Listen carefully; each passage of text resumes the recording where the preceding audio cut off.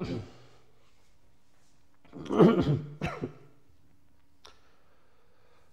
and welcome to reach UPSC reach UPSC पर आपका बहुत बहुत स्वागत है। मैं हूँ आपका दोस्त host educator mentor Sanghi sir आप सभी का बहुत बहुत शुक्रिया जो आप सपोर्ट दिखा रहे हैं इस पर्टिकुलर सीरीज़ पे।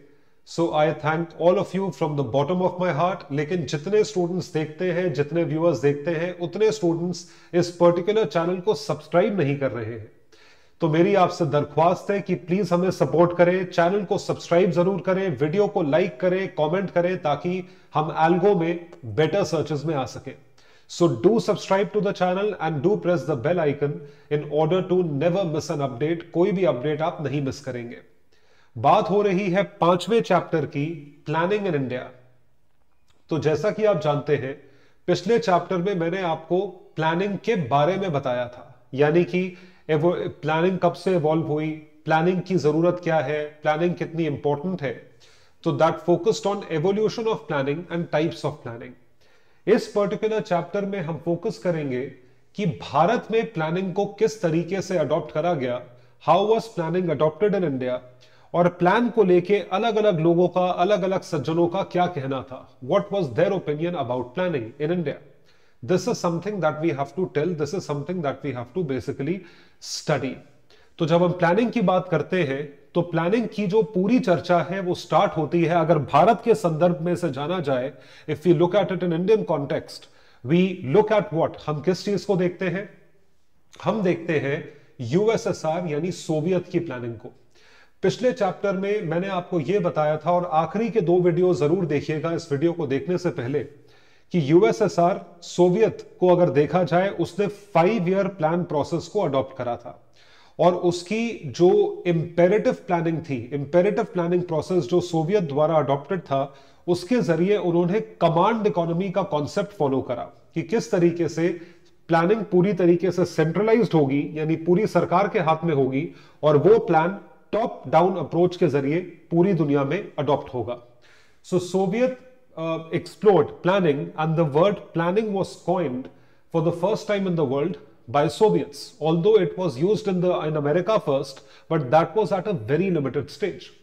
After a prolonged period of debate and discussion, the first Soviet plan was commenced in 1928 by Stalin, and the period ranged for five years. It ended in 1933. So, जब भारत में planning की बात चर्चा होती है तो हम कैसे मिस कर सकते हैं सोवियत को? कि सोवियत से इंस्पायर्ड थे नेहरू जी, और उन्होंने प्लानिंग कमीशन का जो कॉन्सेप्ट और पूरा प्रपोजल इस तरीके से ही अडॉप्ट करा, जहाँ पर सबको इसका जो है एक्सेस पता चले, और सबको यह पता चले कि किस तरीके से प्लानिंग को अडॉप्ट करना चाहिए।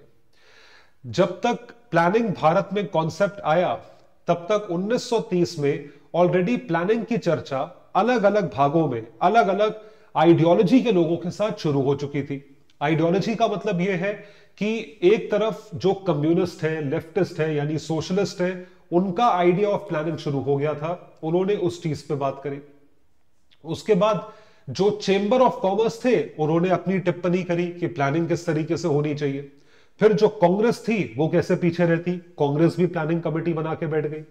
और फिर जो गांधीयंस थे भी प्लानिंग कमेटी या प्लानिंग के बारे में बात करने लगे। जो इंडस्ट्रियलिस्ट थे, जैसे जेआरडी टाटा साहब, उनकी भी कोई ना कोई ओपिनियन थी प्लानिंग तो मतलब कहने का यह है प्लानिंग का नैरेटिव शुरू हो गया। सब लोग बात करने लग गए प्लानिंग के बारे में, और यहाँ से शुरू होता है प्लानिंग इन इंडिया तो इन सारी प्लानिंग को अगर देखा जाए तो प्लानिंग कमीशन जब बना और फ़र्स्ट फाइव ईयर प्लान आया 1951 में, उसके 20 साल पहले से प्लानिंग का प्रोसेस उसकी थिंकिंग उसका नैरेटिव शुरू हो चुका था, जो कि इंडिपेंडेंस के 15 साल पहले था। So nineteen 1930s the of planning already had entered the domain of intellectual and political discussion in India which is a very big thing कि हम वेट नहीं कर रहे थे कि अंग्रेज़ जाएँगे तो हम सोचना शुरू करेंगे। उनके जाने और हमारे सोचने का एस्पेक्ट नहीं है। Many fresh proposals were put forward, and these proposals served their purpose once India became independent and decided to adopt a planned economy. कि इनको अडॉप्ट करना कर, करना था प्लान्ड इकोनॉमी में तो प्लान्ड इकोनॉमी का जो एस्पेक्ट है उसका अडॉप्शन इंडिपेंडेंस तक किन किन लोगों ने प्रपोज करा वो सारी की सारी कमिटीज सज्जन चेंबर ऑफ़ कॉमर्स संस्थाएँ ऑर्गेनाइजेशन कांग्रेस ये सारे हैं और ये जो बात हो रही है इसको आप ध्यान रखें this is up till 1947 which means these committees were formed pre independence और बिफोर इंडिपेंडेंस इंडिपेंडेंस के पहले की बात करी जाए list of plan propose Visvesvaraya plan the FICCI proposal इन दोनों चीज़ों पे सबसे पहले चर्चा करेंगे और जानेंगे कि इन लोगों ने क्या चीज़ बोली what all was stated as a part of the Visvesvaraya plan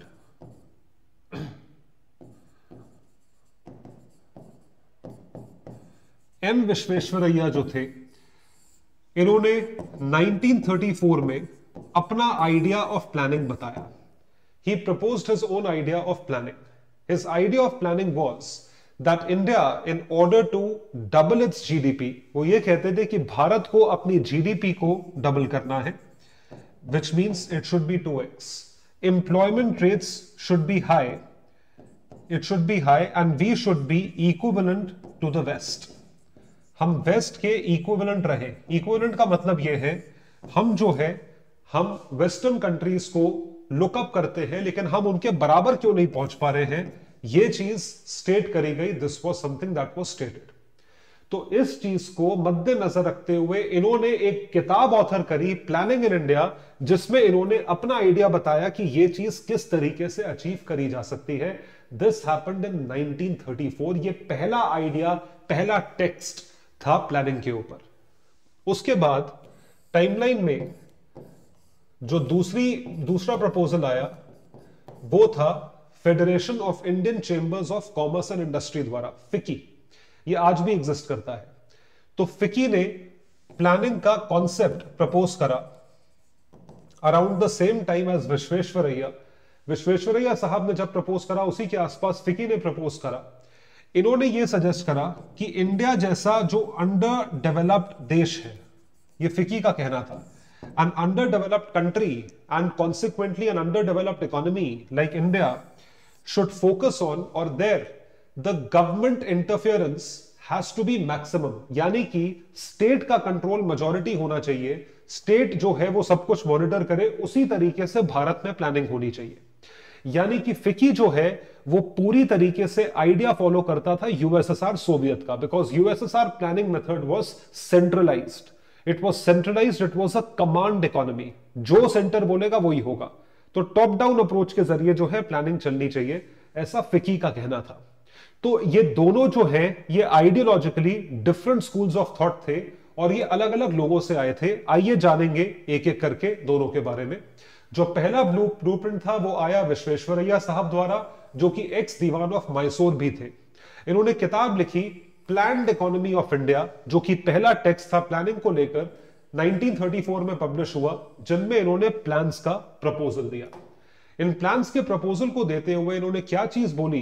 That his ideas of state planning were an exercise in democratic capitalism capitalism का मतलब क्या है?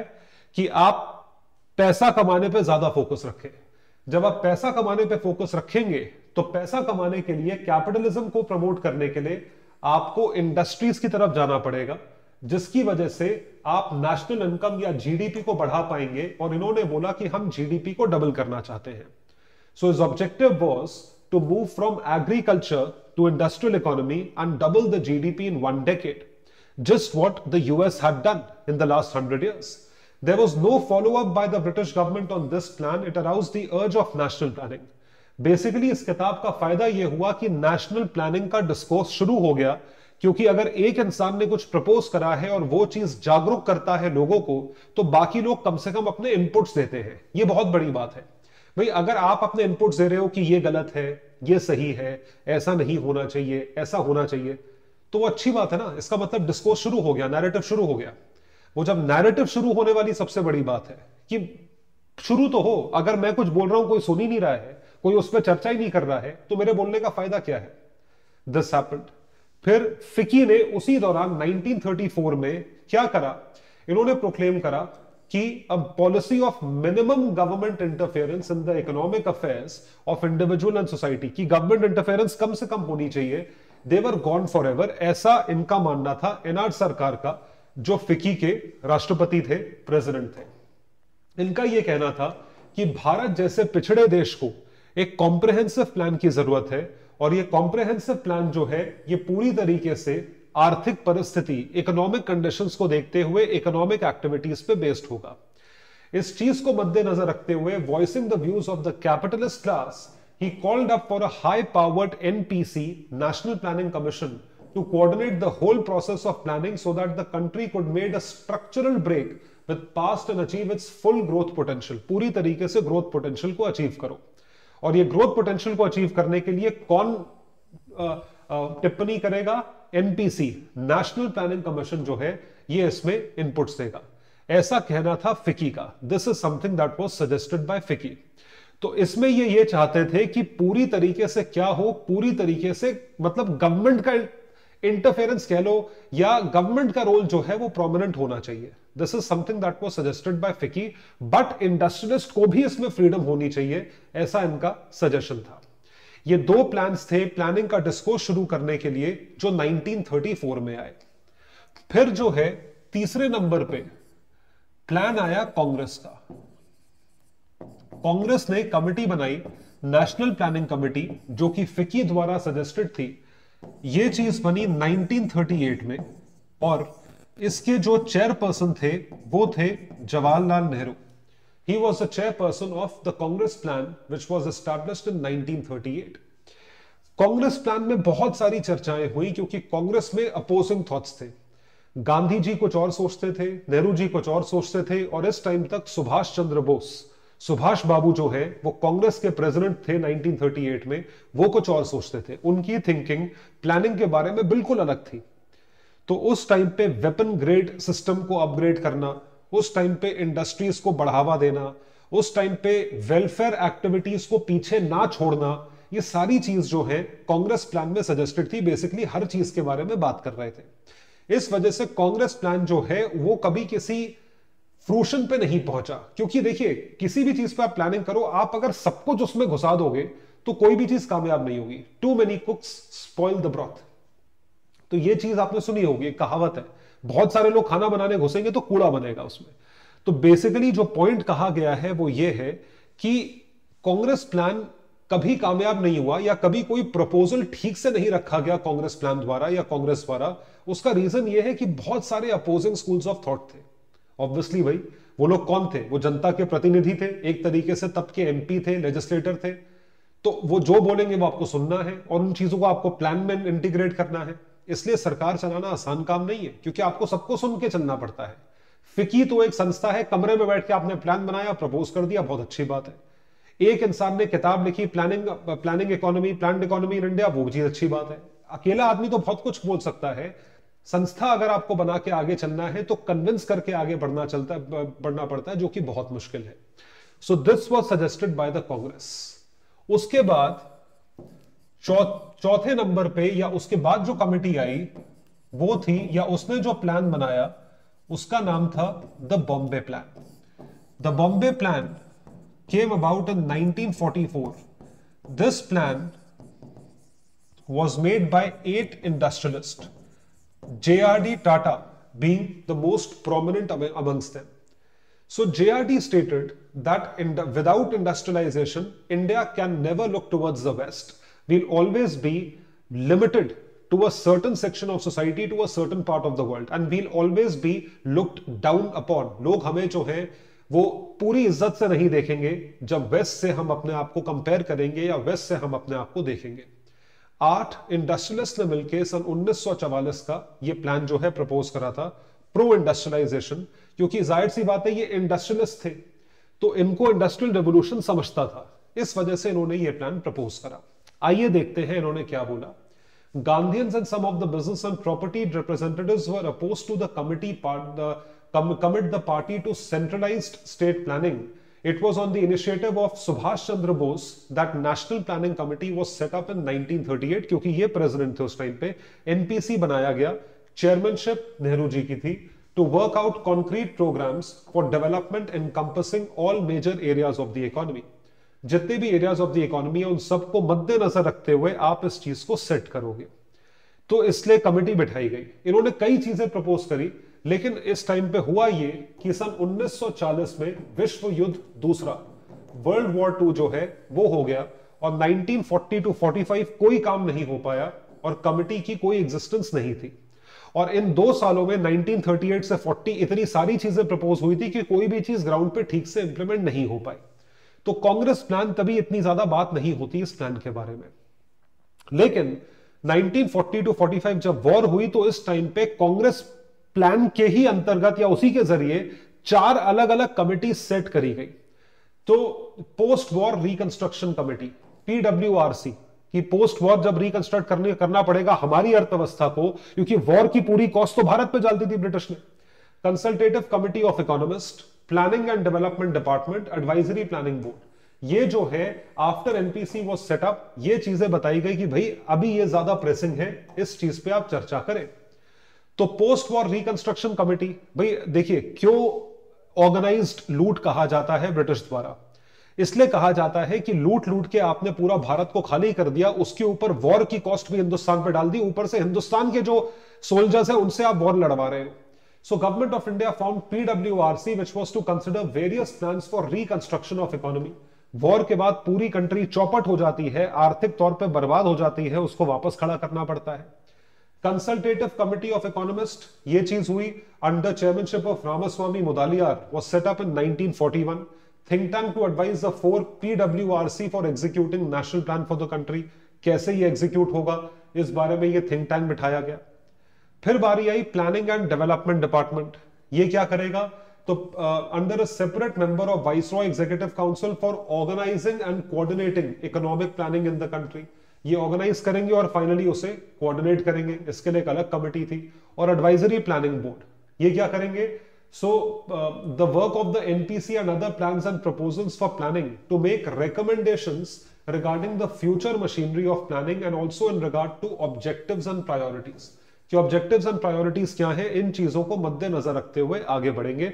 This was the advisory planning board It recommended to create single authoritative organization responsible directly to the cabinet. तो ये चीज़ थी single authoritative organization responsible directly to the cabinet की directly ये रिस्पॉन्सिबल है कैबिनेट को लेके। Advice for creation of NPC was done as part of this कि ये चारों चीज़ें जो है बननी चाहिए। तो बेसिकली ये बना होगा। अब क्या तो वॉर के टाइम इंप्लीमेंट हुआ होगा इंप्लीमेंट कुछ नहीं हुआ होगा। और ये सब कहने की बातें होती है। Britishers were not bothered about Britishers को क्या चिंता है कि इंडिया रीडेवलप करे या ना करे? पूरी कॉस्ट आपने भारत पे डाल दी, मेरा खर्चा निकलना चाहिए बस। बाकी बाकी दुनिया जो है, उससे हमें कोई मतलब नहीं है। बाकी दुनिया चाहे भाड़ में। ये तो सभी सोचते हैं। ब्रिटिशर्स ने तो कभी भारत को वैसे ही कुछ नहीं समझा। तो इस वजह से पोस्ट वॉर रिकंस्ट्रक्शन कमिटी हम अपनी बना ले, लेकिन उसमें ब्रिटिशर्स का कंट्रीब्यूशन ज़ीरो रहेगा।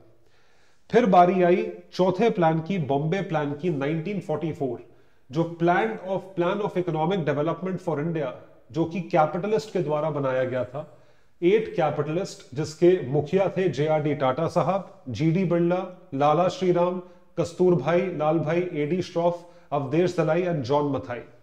1944 में आया NPC and Bombay plan club made possible clear cut agreements कि किस तरीके से यह चीज़ चलेगी। जैसा मैंने आपको बताया इंडस्ट्रियलाइजेशन पर था तो रैपिड इंडस्ट्रियलाइजेशन जो था, ये फोकस था बॉम्बे प्लान का। Had allocated 35% of total plan outlay on basic industries. Basic यानी कि steel industry coal industry thermal power industry atomic energy ये सारी बेसिक इंडस्ट्रीज़ कहलाती हैं। तो उन बेसिक इंडस्ट्रीज़ की तरफ़ आप करो तो रैपिड इंडस्ट्रियलाइजेशन इसी को बोलते हैं, क्योंकि उसके पहले तो कोई इंडस्ट्री थी नहीं। और फिर बारी आई एग्रेरियन रिस्ट्रक्चरिंग की agricultural restructuring abolition of all intermediaries जो आज तक हम लड़ रहे हैं, आज भी वो जो बिचौलिए जो है, उनको ये लगता है कि हम आंदोलन करके जो है पीछे हटा देंगे सरकार को, वो बेसिकली वो किसका नुकसान कर रहे हैं? सरकार का नहीं, अपना फ़ायदा कर रहे हैं और किसान का नुकसान कर रहे हैं। तो abolition of intermediary zamindari system minimum wages आप सेट करें guarantee of minimum of fair prices for agricultural products cooperative credit and marketing support this is agrarian restructuring ये बहुत ज़्यादा ज़रूरी था। तो ये कांग्रेस ने प्रपोज करा, ये अग्रीमेंट हुआ। फिर development of essential consumer goods ये बेसिक इंडस्ट्रीज़ के बाद सेट होना है, बहुत ज़रूरी है। अब essential consumer goods industries as a low key affair ये चीज़ थी, लेकिन इस चीज़ पे भी फोकस होना चाहिए। जो बेसिक बेसिक चीज़ें हैं हेल्थ एजुकेशन ट्रेन आपके colleges higher education airports ports ये सब चीज़ें जो है होनी चाहिए ना, संस्थाएँ होनी चाहिए तो ये सब चीज़ें आप बनाओगे। And finally medium scale and small scale industries इस चीज़ की तरफ़ आज तक, अब जाके 10 साल से सरकार ने फोकस करना शुरू करा है एमएसएमई इंडस्ट्री की तरफ़, जिसे हमने हमेशा से इग्नोर करा था। और ये सबसे गलत चीज़ है, क्योंकि इसको इग्नोर करने से आप कम से कम नहीं तो आप ये समझ लीजिए 30 परसेंट ऑफ़ जीडीपी आज के टाइम पे 30 परसेंट जीडीपी छोड़ते हैं। उसके साथ साथ आप कम से 12 से 15 करोड़ लोगों का रोज़गार छोड़ते हैं, उसे इग्नोर करते हैं और प्लस बहुत मैसिव एक्सपोर्ट होता है, जो ये बनाते हैं, वो आप एक्सपोर्ट छोड़ते हैं। तो एक ऐसा सेक्टर जो आपके ऊपर डिपेंडेंट नहीं है, उस सेक्टर को आप इग्नोर कर रहे हो जस्ट बिकॉज़ वो सेक्टर जो है, वो ज़्यादा डिमांडिंग नहीं है। तो ये भी गलत बात है। इस पे क्वेश्चन भी आया था 2023 के प्रीलिम्स में एमएसएमई इंडस्ट्री पे। Large scale measures for social welfare ये भी कांग्रेस प्लान ने इंप्लीमेंट uh, किया होगा। Right to work and full employment जो हमने अब करा है। Guarantee of minimum wage water sanitation free education these were done do away with inequalities inequalities को आप हटाए। राइट टू इक्वालिटी के ज़रिए inequalities in the form of race religion caste sex place of birth ये जो है ज़रिए हैं जिसके थ्रू क्या होता है जिसके ज़रिए भेदभाव होता है, उस भेदभाव को हटाने को इक्वालिटी कहते हैं। Through measure such as progressive taxation prevention of concentration of wealth ये सारी चीज़ें जो है, ये होनी चाहिए। इन चीज़ों की तरफ़ फोकस रहा। तो इंडस्ट्रियलाइजेशन और वेलफेयर को बैलेंस करके जो है, चीज़ें सजेस्ट करी गई। अब इस पूरे प्रोसेस में अभी तक हमने कैपिटलाइजेशन इंडस्ट्रियलाइजेशन स्टेट कंट्रोल हर चीज़ की बात करी है। तो इसमें गांधीयंस कैसे पीछे रहते तो गांधीयंस ने क्या बताया what did Gandhians state they made uh Gandhian plan Gandhian plan was one followed by that another plan called as Sarvodaya plan So these plans were made purely on the Gandhian ideology of promoting small scale industries, in particular cottage industries, khadi industries, where handicraft work is done, where people are primarily dependent on working with hands, khadi industry. This particular plan of all the Gandhian plans were anti-industrialization they were not for industrialization, they were anti-industrialization. So let's have a look. देखते हैं The plan laid emphasis on agriculture. This was the Gandhian plan. Shriman Narayan ने 1944 में Gandhian plan दिया agriculture पे focus है उसके बाद cottage and village level industries पे फोकस है हेवी लार्ज स्केल इंडस्ट्रीज़ ये सब चीज़ें इग्नोर करो जो बॉम्बे प्लान ने बोला है a decentralized economic structure for India with self contained villages ये बिल्कुल ठीक ऑब्जेक्टिव दिया है इस चीज़ को आज की डेट में इंप्लीमेंट करा जाता है आर्टिकल 40 के ज़रिए directive principles of state policy इसके ज़रिए किया जा रहा है article 40 under DPSP this is being done तो सेल्फ कंटेन्ड विलेजेस जिसको मैं पूरी तरीके से मानता हूँ ये होना चाहिए तो गांधीयन प्लान एनपीसी और बॉम्बे प्लान के के व्यूज़ को नहीं समझता था specially on issues centralize planning नहीं होनी चाहिए स्टेट का डोमिनेंट रोल नहीं होना चाहिए इकोनॉमी में इंडस्ट्रियलाइजेशन पे फोकस तो खैर बिल्कुल ही नहीं होना चाहिए तो इन चीज़ों की तरफ़ ये फोकस नहीं करते थे तो ये चीज़ थी गांधीयन प्लान में फिर आया मनबेंद्र नाथ रॉय, जो कि एक कम्युनिस्ट थे। इन्होंने radical humanist leader and communist पर से, और ये मार्क्सिस्ट आइडियोलॉजी के थे, इन्होंने पीपल्स प्लान प्रपोज करा कि लोगों के पास बेसिक नेसेसिटीज ऑफ़ लाइफ तो है नहीं। आप बात कर रहे हो इंडस्ट्रियलाइजेशन की। Agricultural and industrial sectors both were equally highlighted by the plan Many economists have attributed the socialist leanings in Indian planning to this plan. Socialist leaning जो है वो एम एन रॉय के प्लान से आई थी, जो कि इसके चेयरपर्सन थे। तो ये पीपल्स प्लान था। लेकिन कुछ हुआ नहीं। फिर आया पोस्ट इंडिपेंडेंस जेपी का plan Jayaprakash Narayan.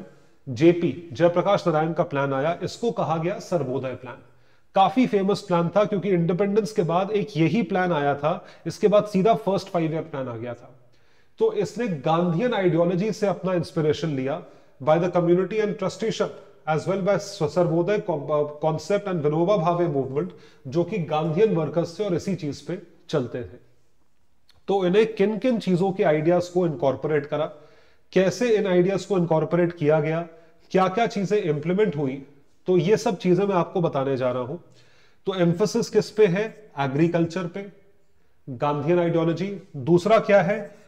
Agri based small and cottage industries small and cottage industries पे फोकस है. सेल्फ रिलायंस आत्मनिर्भरता and almost no dependence on foreign capital and technology technology के एंटी है फॉरेन कैपिटल चाहिए नहीं इंडस्ट्रियलाइजेशन चाहिए नहीं, क्योंकि फिर वो डर था उस टाइम के लोगों को कि ईस्ट इंडिया कंपनी फिर आके बैठ जाएगी. Land reforms Vinoba Bhave movement कि आप जमींदारी सिस्टम रियोतवारी सिस्टम और महलवारी सिस्टम टाइप चीज़ें हटाएँ. विलेजेस को आप सेल्फ डिपेंडेंट बनाए। यूनिट ऑफ़ गवर्नेंस विलेजेस जैसे प्री ब्रिटिश एरा थे, वैसे ही बन जाए। और डिसेंट्रलाइज पार्टिसिपेटरी फॉर्म ये चीज़ होनी चाहिए। तो ये सारी की सारी चीज़ें जो थी they were on the basis of Gandhian plan that was being implemented इस चीज़ को इंप्लीमेंट किया जाना चाहिए था। ये प्रपोज करा जेपी के प्लान ने।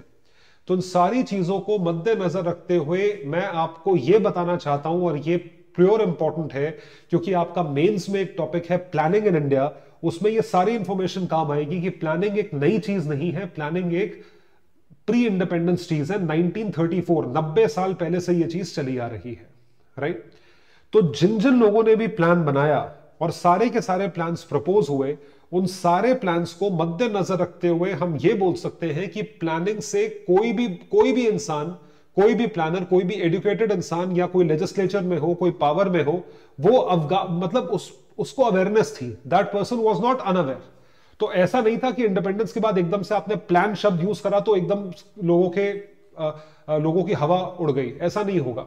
क्योंकि सबको पता था कि प्लान होना चाहिए इन ऑर्डर टू डेवलप ये बहुत बड़ी बात होती है. अगर आज की डेट में हमें एकदम से बोला जाए कि same sex marriages are allowed तो आप सोच के देखिए, आपको शायद ये, आपको समझ ही नहीं आई कि क्या हो रहा है। लेकिन क्योंकि इतना डिस्कोर्स इतनी डिबेट्स इतनी मूवीज़ इतनी डॉक्यूमेंट्रीज इतने आर्टिकल्स इतना, इतनी चर्चा चली आ रही है दस पंद्रह साल से L G B T Q queer के बारे में परेड हो रही है, पूरी दुनिया में लोग बोल रहे हैं ओपन में आके तो अब जाके अगर कोई बोले कि same sex marriage will be ठीक है, इस चीज़ पे हम दस पंद्रह साल से सुन रहे हैं। ये ह्यूमन टेंडेंसी है, इसमें किसी की गलती नहीं है। अगर आज की डेट में आप सुनोगे कि आगे जाके रोबोट्स काम करेंगे और रोबोट्स जो है वो मर्सिडीज की फैक्ट्री में रोबोट्स जो है वो गाड़ियाँ बना रहे हैं। अब वो हमें शायद आज उतना समझ में ना आए। दस साल आगे आपकी जो आगे की जनरेशन होगी उसे बड़ा नॉर्मल लगेगा, क्योंकि वो सुनते सुनते बड़े होंगे उस चीज़ को।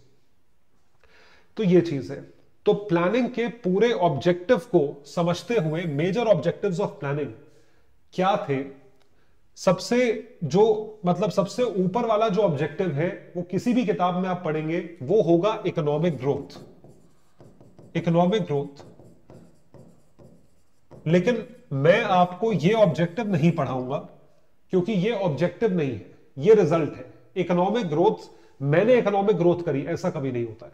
इकोनॉमिक ग्रोथ होती है, आपके एक्शंस जो बाकी चीज़ों की वजह से होते हैं so objective is not economic growth objective is something else objective is what objective is to create employment this is the objective via employment what are you trying to do you are trying to alleviate poverty poverty alleviation आप poverty को अलिविएट करने की कोशिश कर रहे हो। Poverty alleviation से आप क्या करते हो? आप इन इक्वालिटी को कम करने की कोशिश करते हो डिस्ट्रीब्यूशन को और फेयर करने की कोशिश करते हो। इसके साथ साथ आप कंट्रीब्यूट करते हो development of infrastructure development of infra roads ports airports ठीक है? ये सब चीज़ें करते हो। और नौकरियाँ क्रिएट होती हैं एजुकेशन इंस्टीट्यूशंस होता है हेल्थ होता है सोशल मेजर्स होते हैं। जब आप ये सारे काम कर लेते हो तो फाइनली इकोनॉमिक ग्रोथ तो हो ही रहा है। इसी का तो इकोनॉमिक ग्रोथ का मतलब क्या? Employment is increasing yes so we are growing economically poverty is reducing yes we are growing economically inequality is reducing yes we are growing economically development is happening विकास हो रहा है we are growing economically so everything is linked if we are focusing on employment generation, we are solving three things. We are alleviating poverty we are controlling in क्योंकि सबको salary मिलेगी, सबको नौकरी मिल रही है। Due to this we are creating self reliance आत्मनिर्भर होता है इंसान। जब इनक्वालिटी कम होती है, खुद कमाता है, गरीबी से निकलता है तो आत्मनिर्भर बनता है। और ये सब चीज़ें कैसे होती हैं? मॉडर्नाइजेशन से। Technology industrialization more office more infra etcetera तो इन चारों चीज़ों के ऑब्जेक्टिव से क्या हासिल हुआ? Economic growth economic growth is always the is always the result It is not a means to an end. It is the क्या हो गया जी? ग्रो हो गई इकोनॉमी कैसे हुई? बाकी तो बताओ। हमने क्या क्या एक्शन लिए? तो ऑब्जेक्टिव्स ऑफ़ प्लानिंग में आप बाकी चीज़ें याद रखेंगे। ये बहुत इंपॉर्टेंट है। ये पीटी में आ सकता है। सेल्फ रिलायंस आत्मनिर्भरता मॉडर्नाइजेशन कि आप आज के जमा उस जमाने के हिसाब से मॉडर्नाइज करें। इकोनॉमिक इनक्वालिटी कम होगा अगर एम्प्लॉयमेंट जनरेट होगी और पॉवर्टी ऑटोमेटिकली कम होगी। सो so, हम किस चीज़ पे फोकस करते हैं? इकोनॉमिक ग्रोथ को लेकर इन चीज़ों को मद्देनजर रखते हुए हमने कौन सी संस्था बनाई?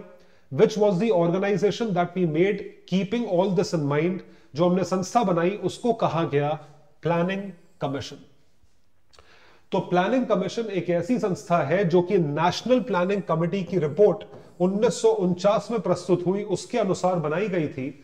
And economic and social planning constitution में जो है, वो मेंशन था वेलफेयर अप्रोच मेंशन थी डीपीएसपी के ज़रिए। तो stage was set for formal launching of planning in the country जिसके लिए एक्सपर्ट बॉडी चाहिए थी, जिसको आप आज की डेट में प्लानिंग कमीशन के नाम से जानते हैं। तो ये क्या करेगी what all would it do इसके सारे फ़ंक्शंस जो हैं, ये हम पढ़ेंगे। पहले मैं आपको ये बताऊँगा कि प्लानिंग कमीशन कैसे बनाया गया। तो आपको समझ में आया कि समझ में यह आएगा कि प्लानिंग कमीशन को किस तरीके से हटाया गया। प्लानिंग कमीशन को बनाने के लिए भारत सरकार ने एक एग्जीक्यूटिव ऑर्डर पास करा। इसका मतलब आप ये चीज़ ध्यान रखेंगे that planning commission is neither a statutory body statutory body नहीं है, यानी कि लेजिस्लेटिव बॉडी नहीं है, यानी कि किसी स्टैट्यूट कानून अनुसार नहीं बनाई गई है and neither it is a constitutional body ये कॉन्स्टिट्यूशनल बॉडी भी नहीं है, क्योंकि कॉन्स्टिट्यूशन में लिखा नहीं था। तो ये एक संस्था बनानी है, लेकिन कोई कानून नहीं है कॉन्स्टिट्यूशन में लिखा नहीं है तो कैसे बनाओगे? तो नेहरू जी ने एक रेजोल्यूशन पास कर दिया, एक एग्जीक्यूटिव ऑर्डर दिया, एक रेजोल्यूशन पास करा, जिसके ज़रिए प्लानिंग कमीशन को सेट कर लिया, उसका कॉम्पोजिशन सेट करा, और अपने आप को प्रधानमंत्री ने इस संस्था का एक्स ऑफिशियो चेयरपर्सन बना दिया। This is how the planning commission was set जो प्राइमरी ड्यूटी थी that was to suggest a five year plan जिसके ज़रिए आप अपने देश को, देश का मार्गदर्शन करते हैं और बताते हैं कि देश किस तरीके से आगे बढ़ेगा। तो जितने भी आपको यहाँ पर फ़ंक्शंस दिखेंगे, इनका ऑब्जेक्टिव एक है how will the country grow and move forward in the next five years तो five year five five year का प्लानिंग प्रोसेस जो है, यहाँ पर सेट होता था। इसके ज़रिए क्या हुआ? Functions of the planning commission को सेट किया गया। तो प्लानिंग जो है, अगर आपको पाँच साल का रोड मैप बताना है तो आप कैसे बताओगे? अगर आपको मान लीजिए अपने एक हफ़्ते अगले पढ़ाई का शेड्यूल बताना है, आप कैसे बताओगे? आप ये देखोगे अगले एक हफ़्ते में मेरे पास कितने आवर्स है पढ़ने के। मान लीजिए रोज के दस घंटे एक हफ़्ते के साठ से सत्तर घंटे हैं। नारायणन मूर्ति के आप प्रिंसिपल पे चल रहे हैं सेवेंटी आवर वर्क वीक पे आप चलते हैं तो सेवेंटी आवर्स आपके पढ़ने के हैं। तो सेवेंटी आवर्स जो है, वो आपके पढ़ने के हैं और आपको कितने सब्जेक्ट्स हैं आपके हाथ में, आप अकॉर्डिंगली टाइम डिवाइड करेंगे और आप बताएँगे कि किस तरीके से आप वो ऑब्जेक्टिव अचीव कर पाएँगे। सेम चीज़ प्लानिंग करता है। पूरे देश में कितने रिसोर्सेस हैं? कितना हमारे पास कितने पदार्थ है? कितने रिसोर्सेस है? उन रिसोर्सेस को किस तरीके से एलोकेट किया जाए in order to satisfy the demand of every sector so assessment of material capital human resource of the country कितना मटीरियल है? रॉ मटीरियल या कितनी चीज़ें हैं? कितना कैपिटल है? पैसा? कितने लोग हैं including technical personal investigate the possibilities of augmenting those resources to be deficient in relation to nation requirement की कितने रिसोर्सेस कम है नेशन की रिक्वायरमेंट क्या है? इन चीज़ों के बेसिस पे आप एक प्लान बनाते हैं प्लान फॉर्मुलेशन जो प्लानिंग कमीशन करेगा, जो कि इफ़ेक्टिव हो बैलेंस्ड हो, और कंट्री के रिसोर्सेस के साथ जस्टिस करे। वो पूरा इंसाफ करे कंट्री के रिसोर्सेस के साथ कि जितना पैसा और जितने ह्यूमन रिसोर्स आप लगा रहे हैं वो ह्यूमन रिसोर्स इस चीज़ को अचीव करने के लिए सामने आता है। This is something that has to be established फिर उसके बाद आप अपनी प्रायोरिटी सेट कर लेते हो define the stages in which the plan should be carried out and propose the allocation of resources for the due completion of each stage आप stages set करें कि पहले साल इतना, दूसरे साल इतना, तीसरे साल इतना और क्या क्या रिसोर्सेज कब कब होने चाहिए कैसे कैसे वो एलोकेट होने चाहिए in order to achieve the objective unfortunately ये ऑब्जेक्टिव आज तक अचीव नहीं हुआ। मतलब ये चीज़ कभी सेट ही नहीं हुई। फाइव ईयर प्लान बना के छोड़ दिया, लेकिन उस प्लान की याद तब आती थी जब चार साल खत्म हो जाते थे। और ऑब्वियसली चार साल बाद आपको याद आएगी तो आपके ऑब्जेक्टिव्स कहाँ तक पहुँचे होंगे, आप खुद सोच के देखिए।